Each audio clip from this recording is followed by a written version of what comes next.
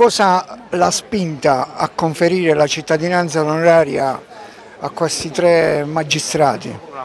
La gratitudine, la riconoscenza che una comunità intera deve avere a chi uomo delle istituzioni si è dedicato alla nostra città, ha recepito il grido di aiuto, la voglia di questa città di riscattarsi, di rialzarsi, di emanciparsi, di liberarsi dai vincoli e dalle catene di una sparuta minoranza che per troppo tempo ha tarpato le ali e limitato l'aspirazione di sviluppo di una cittadinanza che ha tutte le potenzialità.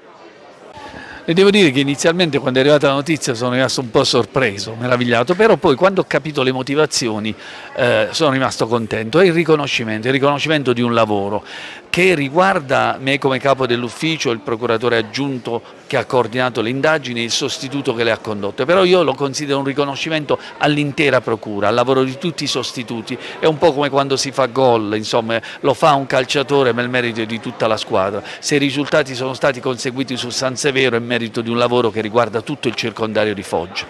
Eh, certamente San Severo è un luogo significativo, anche perché è un luogo dalle molte opportunità, un, un luogo dove ci sono importanti attività imprenditoriali che noi vogliamo difendere e tutelare, insomma un bel, un bel riconoscimento e lo abbiamo apprezzato quando abbiamo sentito le motivazioni. È una, eh, una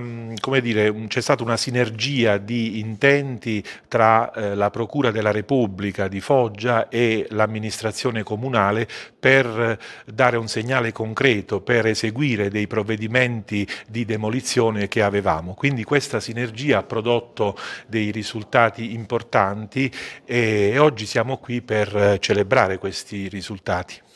Il messaggio credo sia passato nel senso che eh, si è diciamo, in, introdotto un circolo virtuoso per cui addirittura prima ancora di intervenire noi con i sequestri delle occupazioni di suolo pubblico e altro, eh, gli interessati eh, per diciamo, non impelagarsi in uh, procedimenti uh, penali e in processi vari addirittura hanno cominciato appunto con le demolizioni spontanee che ormai sono diventate numerose almeno per quanto riguarda proprio l'area di San uh, Bernardino e quindi diciamo, il, il, il, il problema si comincia in un certo senso a risolvere anche